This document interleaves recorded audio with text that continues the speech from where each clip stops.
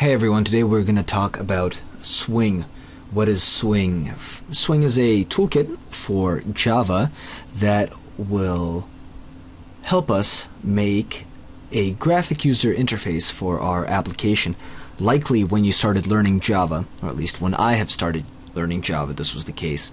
Uh, I started by learning to make an application and all the input and all the output was directed to the console. That way, when I learned the language, I could focus more on the logic rather than making the application pretty.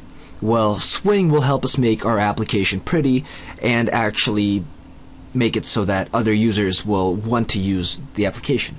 So, before we get started, one thing I want to point out is something called SwingSet 3. Now, you could just uh, search this up on Google and it will likely be one of the first results to come up.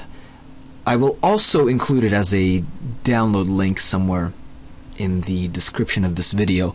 Uh, what SwingSet 3 is, it's, it's kind of just a general overview of all the components, all the little things that Swing lets us add to our application. So it shows us everything from uh, the kinds of windows we can create to how we can display data to uh, ways we can take input such as buttons. And what's really neat about the SwingSet 3 is that if we want to see how something is done, something like we see here, there's a button, we want to see how we make that button in our application, we can just highlight the code, okay, I want to create a simple button, and it will show us what's done. All the source for everything inside this uh, SwingSet 3 window is given to us, which is great to use as a reference for when we start programming Swing. So let's get right to it and create our first our first Java Swing application. We are going to create a new Java project and project name will be Swing Tutorial. There we go. And hit finish. Ta-da! Now we're going to create a new class. Let's call this main window. Okay. Now in order to make this main window into one of those fancy frames we saw earlier in the swing set, what we're going to do is we're going to make main window extend JFrame. Okay, and we're going to need to import JFrame. So we can just hover over it and click import, and type in, or you could just type it in, uh, import javax.swing.jframe. For us, we're going to import all of it. Okay, and there we go. That's our main window class. Well, sorta. We're not done with it just yet. So let's create a new class.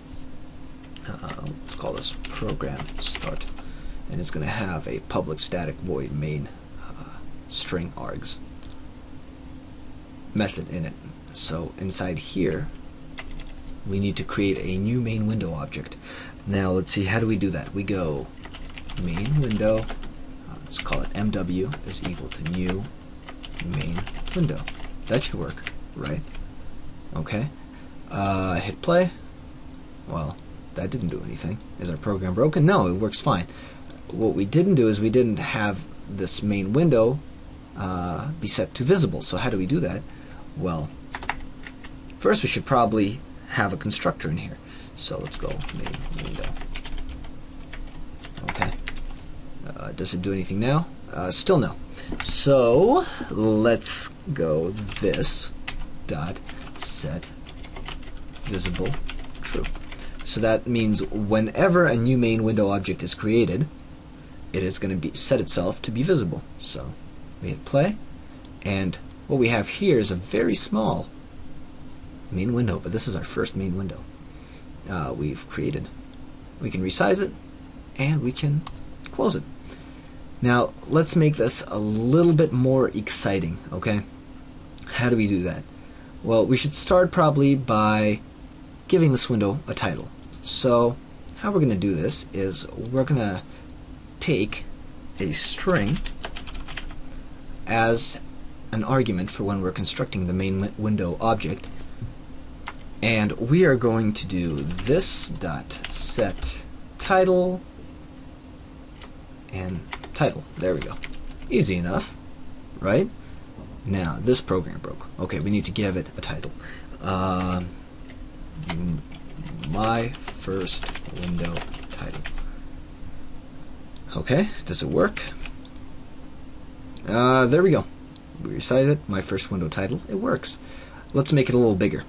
So, let's go this. This is inside the main window class. It's going to set itself to have set minimum size and what this takes is a dimension object so we're going to create a new one right here new dimension and we're actually going to need to import this from I believe java yep java.awt so let's go ahead and import all of .awt there we go and how do we construct a dimension well it takes two ints which are pixel values so let's go 300 by 300 now let's go 300 by 350. There we go.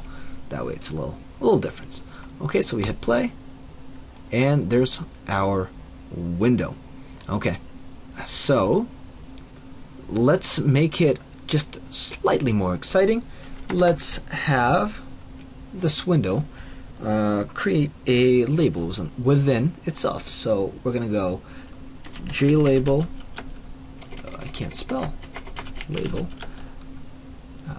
my label is equal to new j uh, label.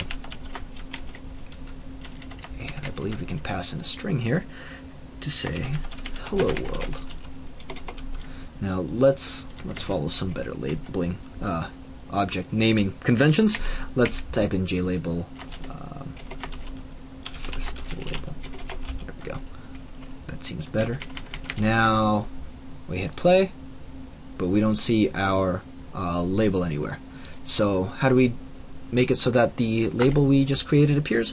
Well, what's going to happen is this, being uh, the main window that is created, is going to add, and as part of the add, it takes a component, and a JLabel just happens to be a component, or a subclass of component.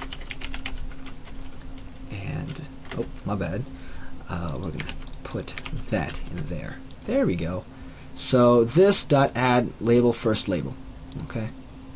And there we go. We have a hello world window which we just created. So that would be our first tutorial covering swing and hopefully I'll be able to put out a few more covering some of the other uh, components and features that we can use uh, from Swing. All right? Thanks for watching.